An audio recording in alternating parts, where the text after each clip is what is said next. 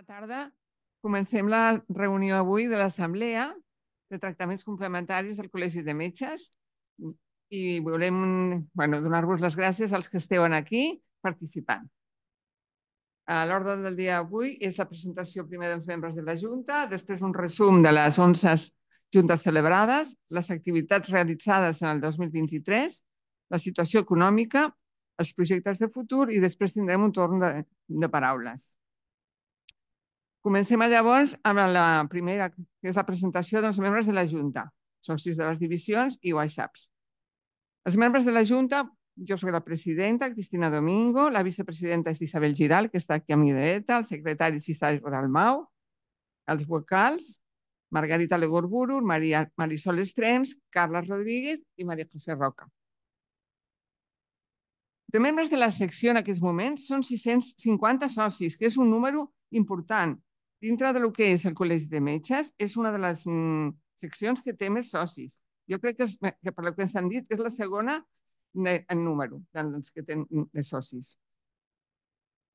Eh, L'organització d'aquesta secció està dividida en divisions. Eh? Estan creades diverses divisions i s'ha fet un WhatsApp en aquestes divisions que està sent molt actiu perquè permet que es relacionin entre elles i, i, i es portin doncs, datos importants de, eh, coses que s'estan fent, eh, etc.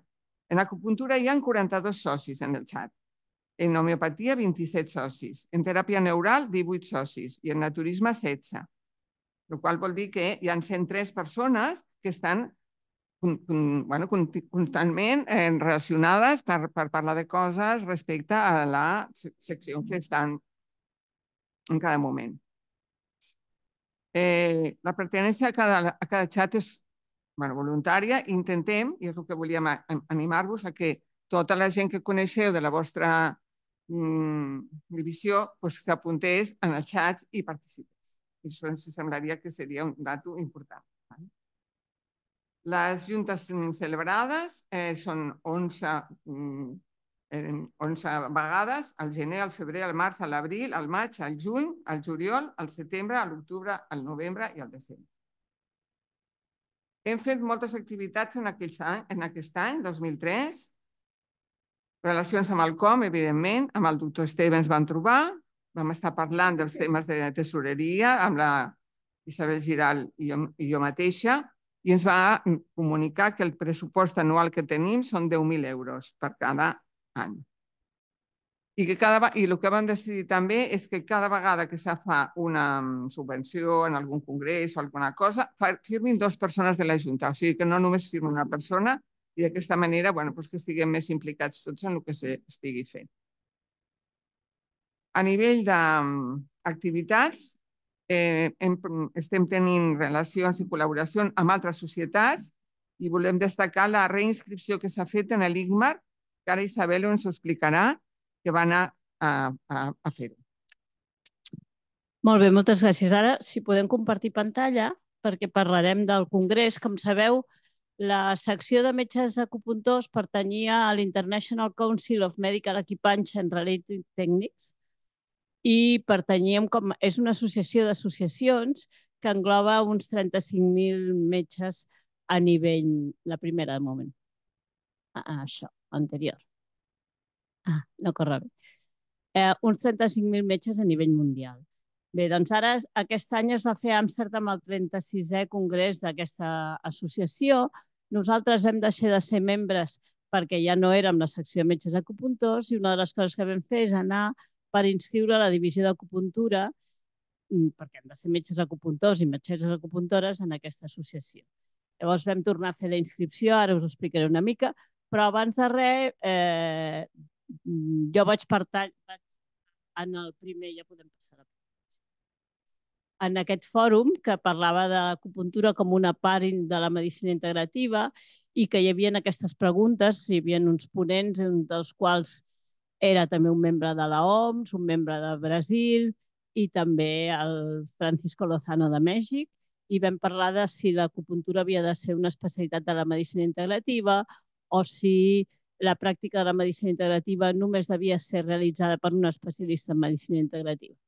Bé, el, el meu resum seria que la medicina integrativa és un marc, és un marc que en realitat el que fa és connectar la medicina no convencional amb la medicina convencional, de manera que les dues surtin guanyant i que es pugui fer una medicina més propera i, més, eh, i menys iatrogènica, i que l'acupuntura era una de les terapèutiques més útils dintre la medicina integrativa, però n'hi havia d'altres, com la medicina naturista, com la teràpia neural, etc. I que era molt difícil fer un marc o fer una especialitat de medicina integrativa, que l'important era com es feia i que, que s'havia d'aprofundir en, en cada una d'aquestes especialitats, és a dir, cada, cada metge o metgessa havia d'aprofundir en una d'aquestes mm, eines i llavors estava fent medicina integrativa i que l'acupuntura la, era una de les parts més importants de la medicina integrativa. Ja podem passar, aquí tenim la fotografia, això va ser per obrir el congrés, mm, aquesta era la primera sala, la sala plenària, podem passar.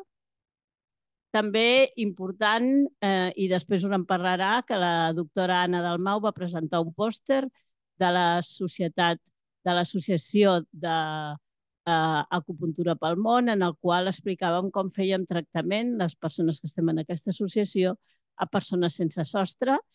Aquest pòster va ser molt ben rebut, tant que ens van donar un, o van donar un premi a aquesta associació, dic que ens van donar perquè jo també soc eh, un premi mm, de 250 euros per representació d'aquest pòster que després us explicarà l'Anna. Passem? Uh, aquí estic jo presentant la divisió d'acupuntura en el qual vam tornar a ser mesos com a divisió d'acupuntura de la secció de tractaments complementaris. Uh, normalment es paga un 3% de la quota, com que no tenim quota pagarem uns 50 euros anuals i aquí estic amb l'Anna Dalmau, la nostra companya, i també amb el president de la INGMAR, Patrick Soteil, i amb Guillermo Chauvin, que és el president de l'associació Filasma, que és l'Associació Latinoamericana de Metges Acupuntors, a la qual també pertanyem, però pertanyem com a membres col·laboradors. La doctora Mariam Lorente, quan va ser uh, presidenta d'aquesta secció, va fer que la divisió d'acupuntura fos acceptada com a membre col·laboradora. Eh?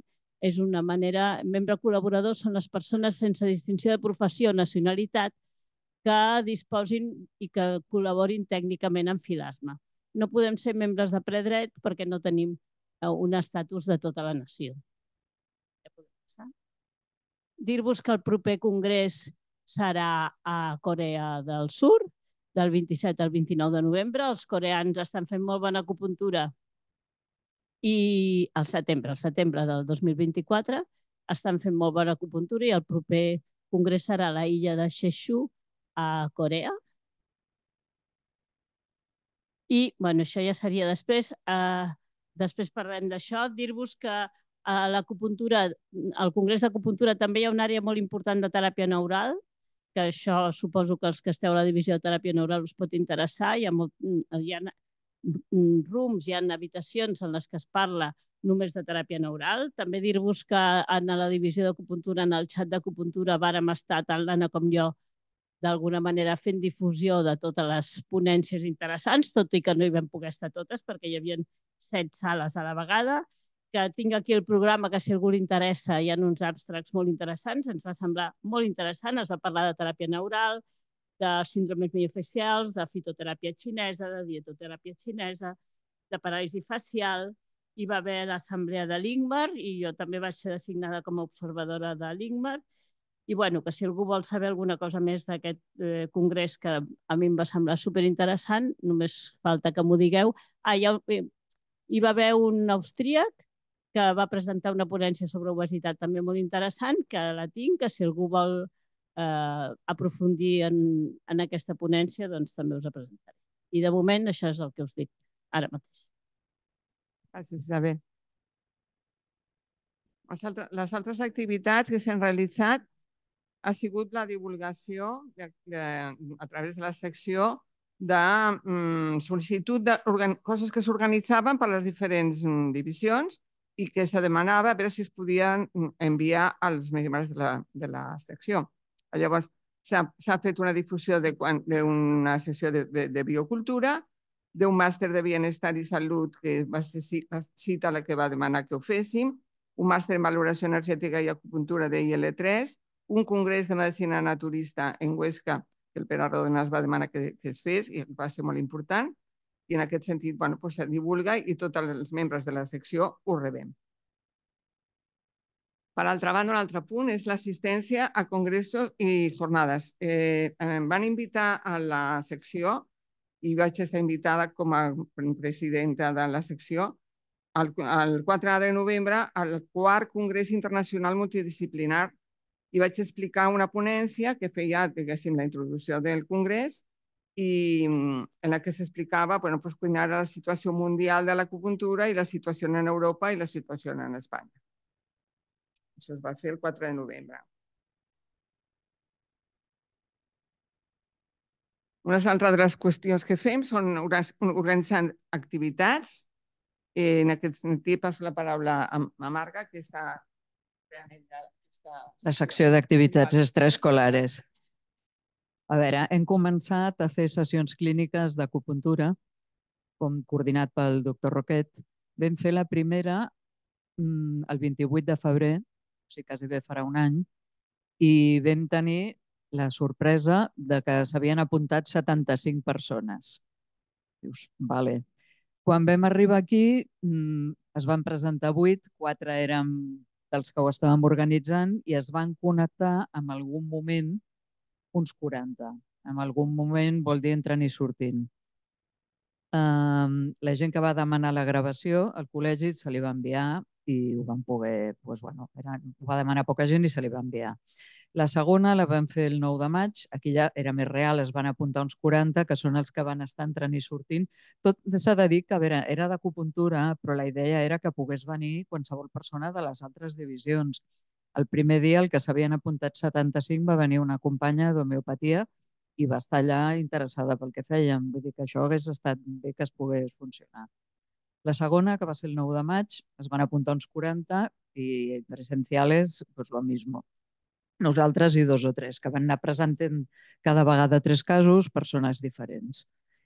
I la tercera va ser el 3 d'octubre i seguim amb la mateixa tònica. Vull dir que ens hem anat plantejant a veure quina mena de format s'hauria de fer perquè la gent es vinculi més i que vinguin, vamos, que es connectin, però no acabem de seguir donant-li voltes. La propera la tenim el dimarts 13 de febrer, encara no s'ha decidit qui té que presentar els casos. Hi ha una persona, i també estem esperant que us apunteu tots ràpidament. Es controla l'assistència i es generen uns diplomes d'assistència a través de la web del Col·legi de Metges, vull dir que d'una manera o una altra. O sigui, de moment tenim la propera programada i ens estem plantejant diferents possibilitats. Si canviar de divisió, si canviar el format o a veure com ens ho muntem i això les sessions clíniques. Després d'activitats vam fer una sessió que es deia Acompanyar la vida el 17 d'octubre, conjuntament amb la secció col·legial dels metges sènior. Us preguntareu per què ens vam ajuntar amb els metges sènior. Uh, la veritat és que vam tenir l'ocasió de conèixer el doctor Sanz, que és el president, i havíem estat parlant. I per una altra banda, els metges sènior és la sessió la secció més numerosa del Col·legi de Metges, com és d'esperar, perquè tots van cap allà, siguin de l'especialitat que siguin. I com que la intenció que tenim era de connectar una mica i de fer arribar als altres especialistes a què ens dediquem i explicar què fem, doncs vam pensar, mira, aquí amb una mica de sort hi haurà de tot. I va ser així. Vam fer aquest, aquesta sessió. Mm, la primera part es va fer una introducció la Cristina va presentar una mica la Junta i com funcionàvem. I després la Isabel Giral va fer una explicació de les diverses disciplines de la nostra secció, explicant una mica lo bàsic de què era cada cosa i com la feien servir. La segona part vam tenir de convidat el doctor Joan Carles Trallero, que és un metge de medicina general i expert en paliatius, president de la Fundació Paliaclínic i que ens va parlar de com acompanyar el final de la vida igual que nosaltres acompanyàvem la vida, ell acompanyava al final de la vida i era com un tot que volien completar. Vam tenir, les, eh, després hi havia les pregs i preguntes, el doctor Sans no va poder venir, aquell dia ens va, vam tenir de, de representant d'ell el doctor Lluís Carreras i va, ens va transmetre tant les preguntes que hi havia a la sala com la gent que es va connectar online i ens vam despedir amb un breu concert de violoncel. Llavors, el resum és que a la sala hi havia 50 persones, part de nosaltres. Online van, contactar, van connectar 55, o sigui que està prou bé. És dir, més de 100 persones van veure la ben que vam fer. I tenim la gravació mm, de la secció de metge sènior amb un link que us passarem amb el resum d'avui, que va directe a YouTube i si algú està interessat la pot escoltar i mirar. Entonces, fins aquí i després ja tenim el que segueix ja són projectes de la propera temporada. Tenim la idea de fer una actualització en tractaments complementaris. La farem en format presencial únicament, perquè el que ens interessa és relacionar-nos, veure'ns, trobar els companys i poder compartir. I a més a més, amb la santa intenció de fer un break i de fer després prendre alguna cosa, llavors això online no ens va bé. Serà un event gratuït, però eh, ens haurem d'apuntar perquè realment necessitem saber si n'hi ha 30, si n'hi ha 200, i si no és molt difícil de, de calcular. Serà el 13 d'abril pel matí i estem acabant de perfilar el programa. D'entrada, contem amb la presència del doctor Manel Mateu, que ens farà actualitzar. Estic parlant els títols, me'ls estic inventant una mica, eh? els hem d'acabar de definir. Actualitzacions amb homeopatia, de Marisol Estrems, que ens parlarà de casos d'èxit amb la seva experiència com cirurgiana, també amb homeopatia, el doctor Roquet, que volem que ens expliqui com explicaríem la salut mental actual, eh, com la veuria la medicina tradicional xinesa. Després tenim l'Ixard Dalmau, que el d'ell és més ens parlarà del teixit connectiu i la matriu extracel·lular com sistema de senyalització de l'organisme. Això està ben apuntat. I la Maria Josep Roca ens parlarà de l'evidència científica en el ioga i el ioga en l'àmbit sanitari. O sigui que segur que serà molt interessant i ens agradaria molt que vinguéssiu tots. I aquí lo dejamos. Vull dir, ho rebreu com sempre per escrit i us anirem informant de com progressa la cosa, però apunteu el dia 13 d'abril al matí.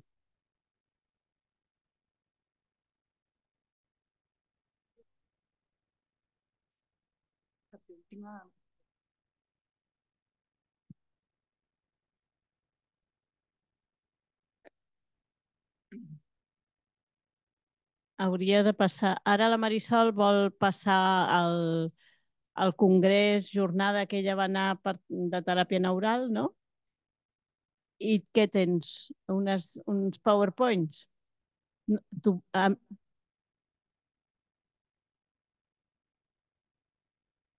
T'ho envies a tu mateixa?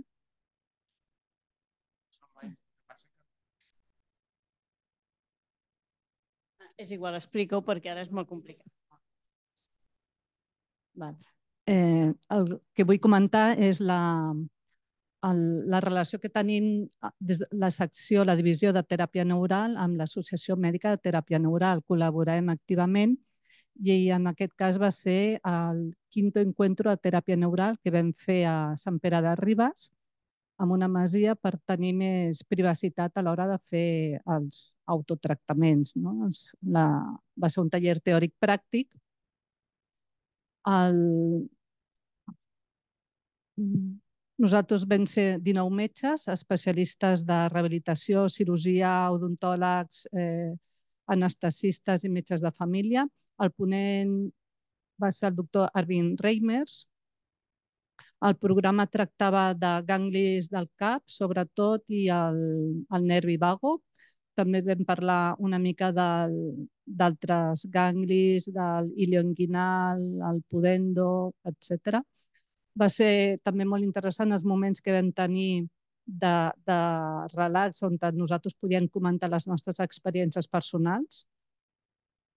Vam fer un repàs des, dels ganglis més importants, l'esfenopalatino o pterigopalatino, eh, sobretot en la seva importància en els tractaments de, la, de les cefalees postpunció, migranyes en clúster, les vies, que tant podia ser la via a través de eh, la via cutània o la intraoral, degut a que aquest gangli eh, té múltiples neurones aferents sensorials i anatòmiques, envia connexions aferents a la cavitat nasofaríngia i estructures meníngies, per això té un paper molt important en la modulació neuronal. Després, eh, ho mire, veiem des d'aquí.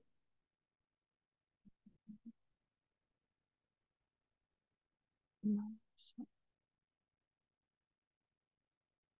del, del nervi vago, bueno, la importància que té el nervi vago, ara que està tan de moda tota la teoria polivagal. I el, com diu el professor John Cryan, professor d'Anatomia i Neurociència de l'University College de Cork, a Irlanda, lo que pasa en el vago no solo se queda en el vago, sino que en realidad afectará a nuestras emociones. Últimament, des del 1998, bueno, a partir del, del 2000 al 2024, mm, les publicacions sobre el vago s'han disparat exponencialment. I també volia agrair als membres de la, de la divisió teràpia neural perquè han fet un gran esforç en les publicacions. Tot això és bueno, gràcies al David i a Montse Muñoz eh, per les seves publicacions que posen en relleu no? la, la utilitat i la, i la base científica que té la teràpia neural, sobretot aquest el Scoping Review, el Therapeutic Use of Low Dose Local Anesthetics in Pain, Inflammation and Other Clinical Conditions, també l'improvement in post-orthodontic chronic musculoskeletal pain after local anesthetic injections in the trigeminal area, aquells sèries. I degut a que eh, costa tant les publicacions, com a propostes per, a, per a aquest any, volíem promocionar les publicacions i els estudis. Llavors, amb les properes reunions és un tema que volem tractar, a veure de quina manera es pot promocionar perquè la gent s'animi a publicar. També volem donar visibilitat de la teràpia neural a metges, estudiants i a la població en general i continuar col·laborant amb l'Associació Mèdica Teràpia Neural per organitzar els cursos que tenim pendents, com el de suport vital, la, los encuentros de teràpia neural i les sessions online, on es puguin comentar casos i discutir articles.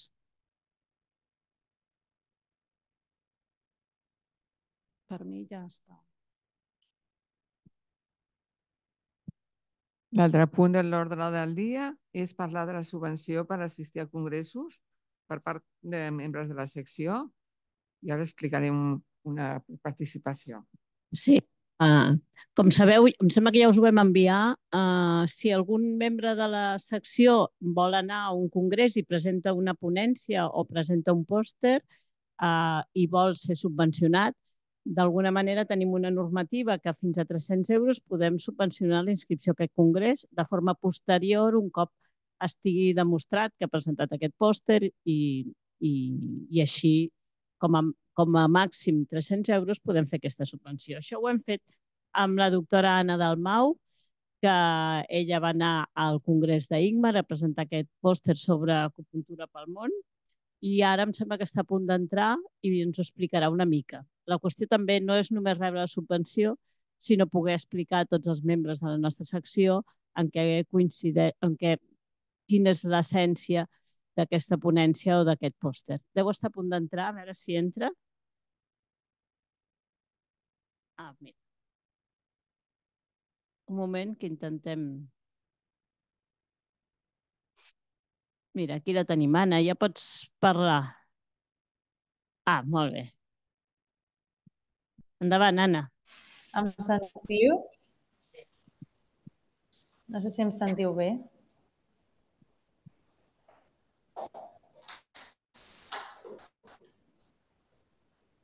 Ja pots començar, Anna. Ah, vale, és que em sentiu bé? És que us veig com molt tallats i no sé si em sentiu bé vosaltres. sentim bé, sentim bé. Vale, doncs pues voy, eh? bueno, us explico una miqueta el, el pòster que vaig presentar a, al Congrés de la ICMAR. Eh, a veure si us puc compartir la pantalla. Ho veieu? Sí que pots, sí, però ara de moment... No sé si em... Um, a veure, espera't, eh? Ara, Aquest sí. és el pòster, Sí. vale? El que passa que us, us l'explicaré amb el PowerPoint que serà més fàcil. Vale? Ho veieu bé ara? Sí, sí, sí. I veieu, veieu ara el PowerPoint? sí. Vale, perfecte. Espera, em poso una mica més a prop de la finestra perquè això és molt rudimentari i estic amb l'internet del mòbil. I, i... Vale. Doncs nosaltres com a, com a grup d'acupuntura pel món ja fa tres anys es va fer aquesta, bueno, gairebé tres anys, es va fer aquesta enquesta de satisfacció als pacients que tractem als dos centres eh, de persones sense sostre a Barcelona i, i aquesta enquesta era per veure, doncs, evidentment, doncs, la satisfacció d'alguns d'aquests pacients. Eh, bé, aquest és el, el, bueno, les meves declaracions.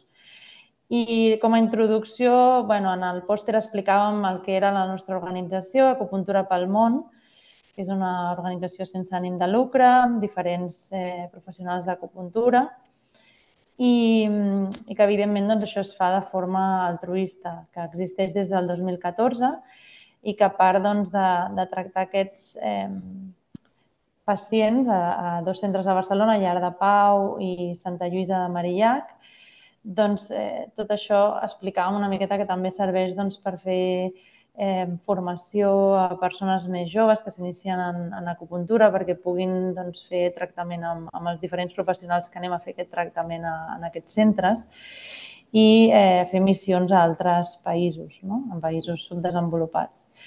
Bé, i llavors nosaltres el tractament en aquests centres el fem cada 15 dies a, a cada un dels centres i més o menys doncs, acostumen a venir entre 5 i 9 pacients cada tarda.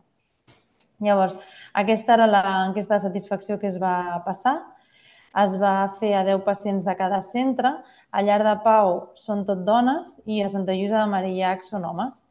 Llavors, aquí eh, els objectius d'aquesta enquesta era, va, primer de tot, avaluar la satisfacció d'aquests bueno, pacients, després analitzar quins eren els motius més freqüents de consulta, mirar també quins eren els principals eh, diagnòstics energètics d'aquests pacients i determinar si havia hagut algun efecte secundari o, o bueno, quina era la seguretat d'aquesta tècnica. No? Ai, ara, ara ho he tret, veritat? Ho veieu? Ara ja sí. Vale. Bueno, llavors, així com a, com a dades a, a comentar, doncs cap dels pacients que vam tractar treballava, estaven en estat doncs, d'inactivitat i l'edat mitja es pot veure que era doncs, al voltant dels 50, 50 i alguna en termes generals, eh? de diferents països, la majoria espanyols, però, però hi havia molta varietat i, i aquí parlem només de 20 pacients. I, i bueno, eh, la majoria d'ells havien fet entre unes 4 a 10 sessions, alguns fins a, fins a 30 sessions. Val? Llavors, els resultats van ser que la, que la satisfacció en general era bona o molt bona, la majoria, i alguns regular, però evidentment cap d'ells doncs, va referir una, una satisfacció dolenta. Els principals motius de consulta van ser sobretot dolor, i després també doncs, ansietat, insomni o símptomes neurològics diversos. La, el diagnòstic energètic més freqüent va ser la deficiència de Qi o Chue, i només hi va haver una dona que es queixés d'algun efecte secundari, com va ser doncs, eh, parestèsies. I, I bé, com a conclusió, era comentar doncs, que la majoria de pacients estan molt agraïts i sempre demanen més sessions. Vull dir, estan molt, molt contents amb la, amb la atenció que els donem en aquests centres. I com això és una, una petita doncs, enquesta pilot, doncs, evidentment no es poden treure grans conclusions, però, però bueno, s'ha de seguir fent, fent recerca amb això i seguir-hi treballant. Llavors, aquest és el pòster que vam presentar i, i va ser premiat com a un dels cinc millors pòsters de la, del Congrés. Llavors ens van donar un premi a l'associació de 250 euros amb aquest, amb aquest pòster. Vull dir que res, molt contents. Bueno, doncs moltes felicitats. Ja vam dir que havia sigut interessant i realment molt valiós que hi hagin aquest tipus d'intervencions i que siguin reconegudes. Sí, i gràcies a vosaltres també per l'ajuda, perquè al final eh, la, la secció m'ha ajudat a mi també amb, amb el pagament de part de la inscripció, o sigui que, que moltes gràcies, perquè al final bueno, tot això mm, és superinteressant i és molt nutritiu, i va ser molt nutritiu al Congrés, i, i et motiva per seguir fent feina. Però, però bueno, també és costós, ja ho sabeu, i, i s'agraeix molt, la veritat. Pues bé, moltes gràcies.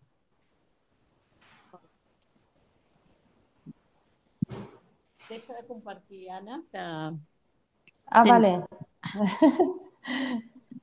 així, no? Tu, tu pots seguir estant, eh? Però així. Perfecte. Vale. Jo, eh, com, com bé sabeu, les urgències són complicades i estic jo sola amb un altre adjunt, així que he de tornar, em sap supergreu perquè m'hauria agradat quedar-me més i ja sap la Isabel que estava, estava jo aquí a última hora pendent d'entrar. Però bueno, que me'n torno, val? Eh, pues gràcies per haver-te connectat. No, i ara a vosaltres, a vosaltres per estar-hi pendents. Adéu, adéu. Bueno, doncs parla tu, Isabel, que Sí, molt bé. Només dir que, em sentiu, eh? que encoratgem a tots i a totes a que aneu a congressos, que presenteu ponències i que la secció us ajudarà en això. Tenim 10.000 euros al mes i aquesta és una de les... Ai, perdó, l'any. Al mes. Si fos al mes, podríem anar-hi cada mes. No, 10.000 euros a l'any per, per aquests objectius que al fi al cap és difusió i formació. Ara tornem a compartir el meu... Us anava a parlar una miqueta del tema de l'acreditació, que hem estat treballant darrerament allà. Ah, exacte. Més avall. Això ja ho hem vist, ja ho hem vist. Molt bé, aquí. Molt bé.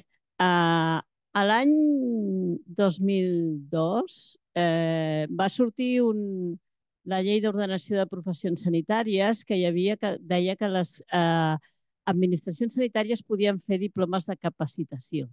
I especialment en aquella època, jo era la presidenta de la secció de metges acupuntors, especialment a l'Albert Garcia, que no sé si ens està escoltant, i la Junta i jo mateixa vam treballar molt per fer un diploma de capacitació en acupuntura. Aquests diplomes segueixen en marxa avui en dia i tenim aquests diplomes de capacitació al Col·legi de Metges.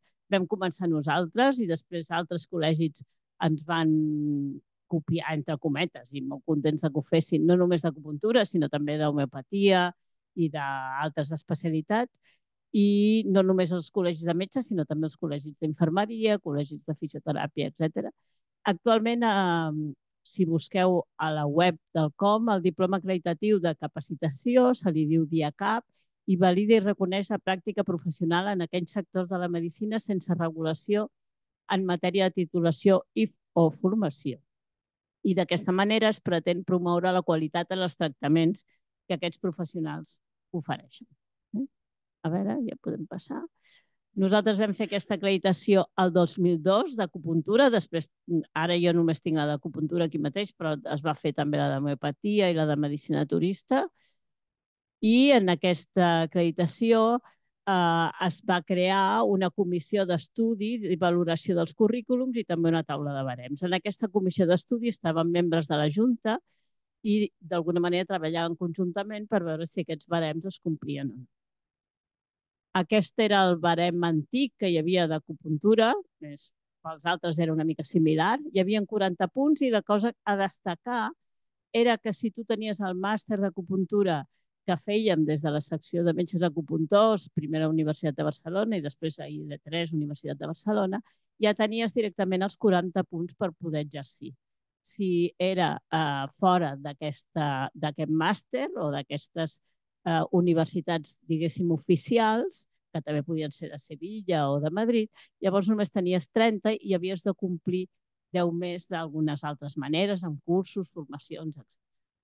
quan la secció de metges acupuntors es va juntar amb la secció de metges eh, naturistes i la secció de metges homeòpates i també van entrar els metges i metgesses de teràpies neurals, es va fer una altra acreditació, podem passar, que actualment es diu tractaments complementaris, és l'actual dia cap de tractaments complementaris del Col·legi de Metges de Barcelona.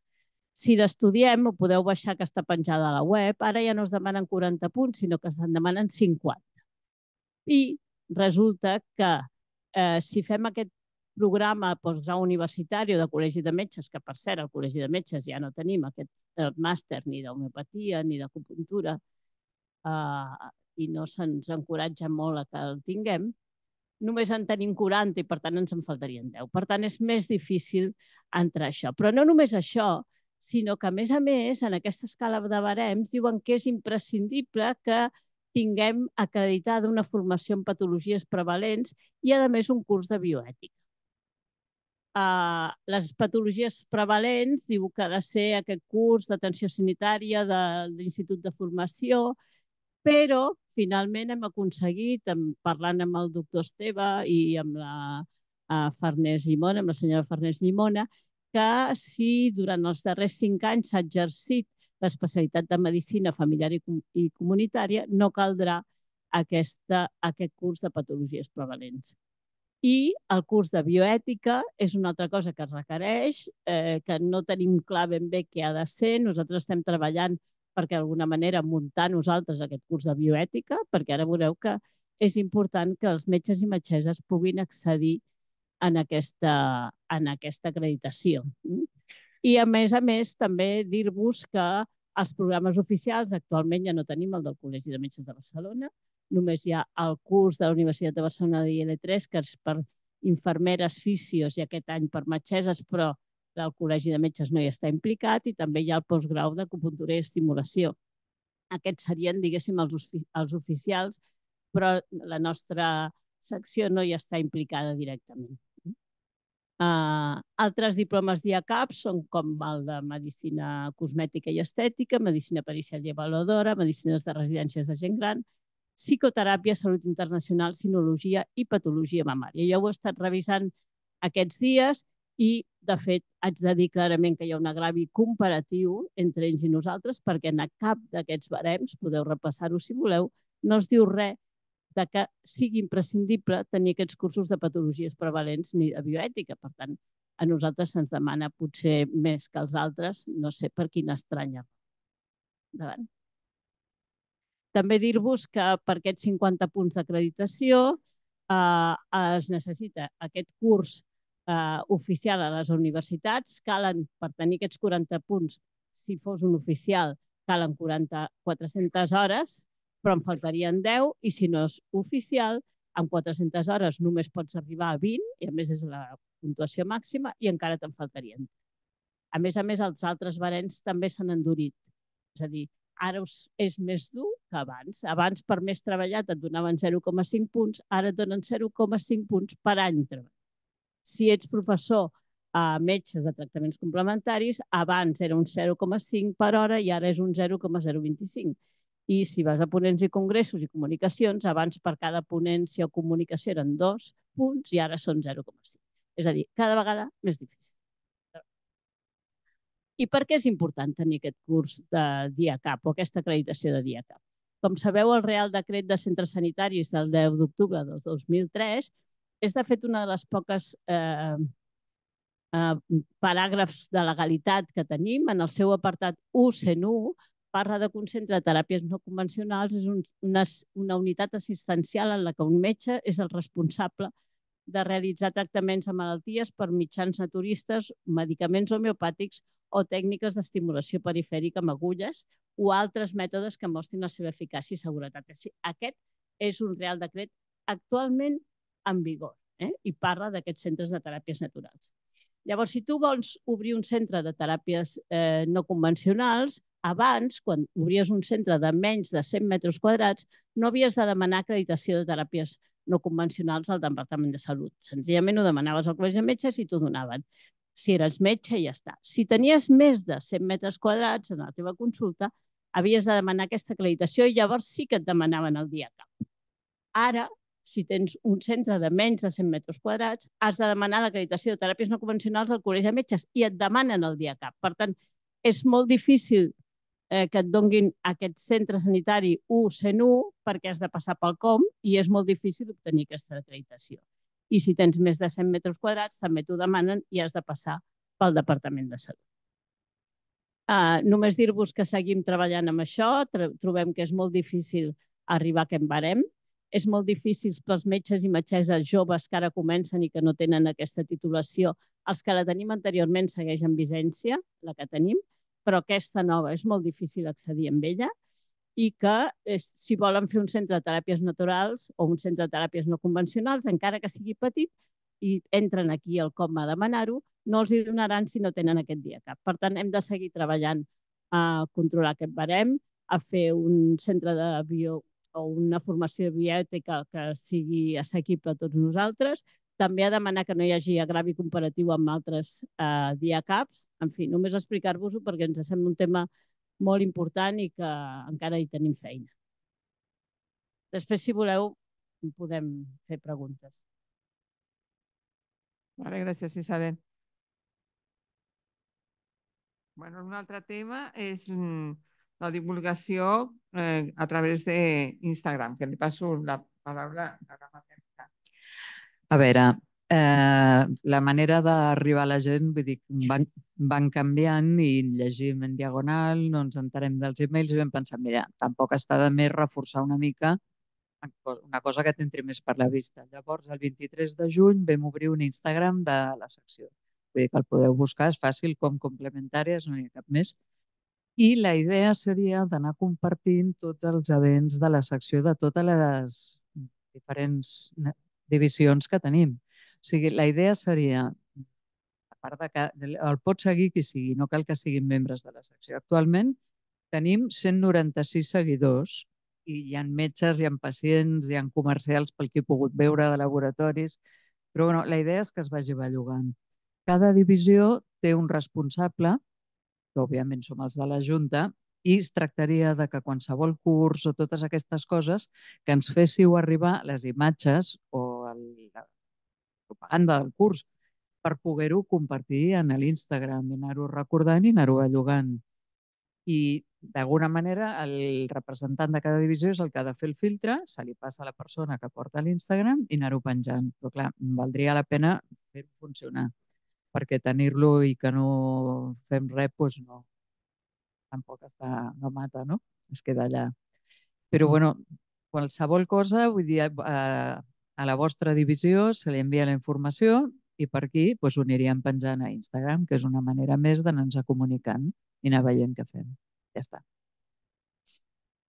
Jo trobo que és molt interessant i, i que bueno, permet que se divulgui el que estem fent de totes les divisions i en aquest sentit, doncs, tant actes que fem aquí com, com que se pugui fer fora. Vull dir que, que se pot dir, doncs, clar.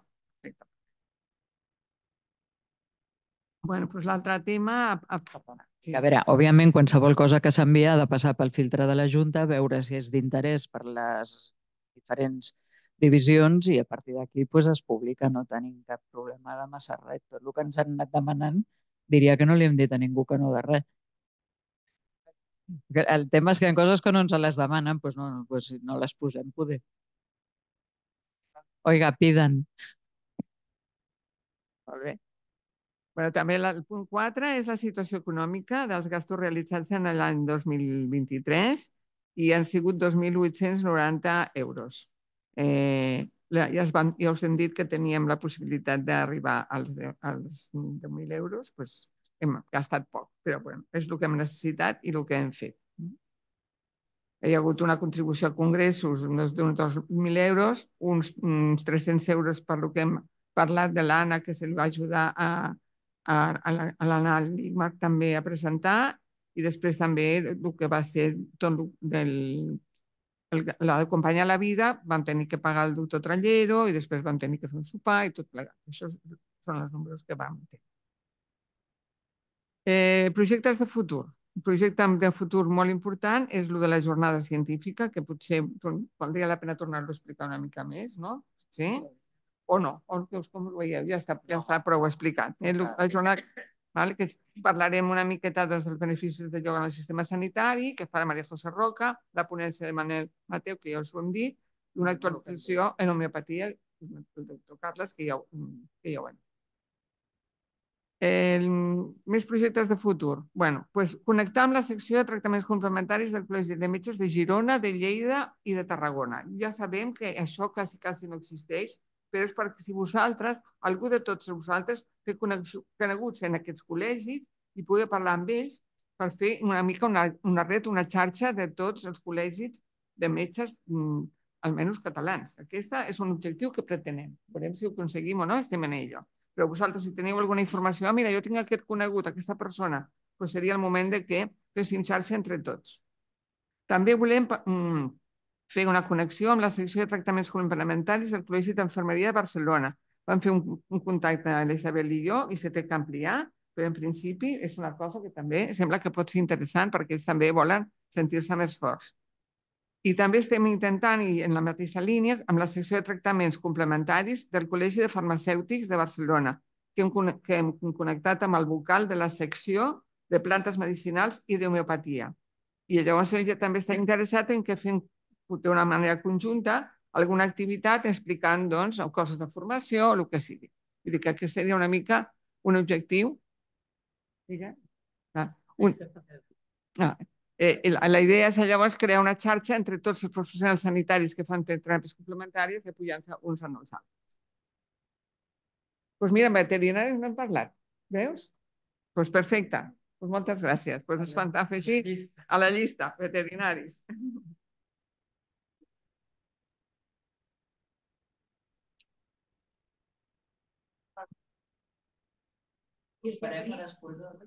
Bric fa un curs d'homeopatia, eh, cada any fa un curs d'homeopatia i o sigui, la gent s'apunta i, i no sé, em sembla que és no, no sé, tres mesos tots els dilluns o una cosa així. O sigui, són més obert. I el de, i el de enfermeres també. Els de les enfermeres flors de mar. Bueno, doncs moltes gràcies per la col·laboració.